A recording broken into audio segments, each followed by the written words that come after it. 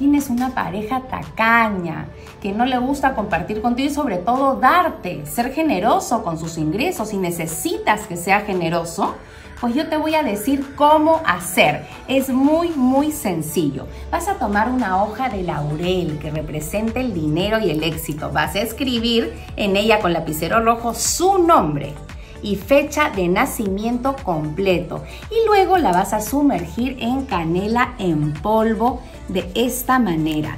Una vez que se haya impregnado bien de canela en polvo, quemas la hoja pidiendo tu deseo de que sea generoso, de que te dé, de que te dé y de que te dé y vas a ver cómo ese deseo se cumple.